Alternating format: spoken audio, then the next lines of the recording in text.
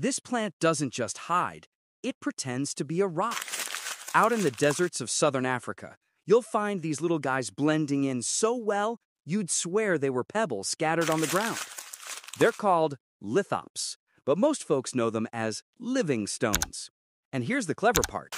By looking like rocks, they avoid being eaten by thirsty animals searching for juicy plants. It's like the ultimate camouflage trick.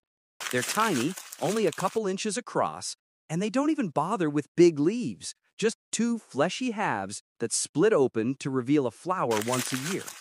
Some people even grow them at home, but you have to be careful not to overwater because they're desert specialists. Funny thing is, goats and other grazers would love to munch on them, but they walk right past, fooled by the disguise. So the rocks you're looking at? They're actually plants, quietly surviving by pretending to be something they're not.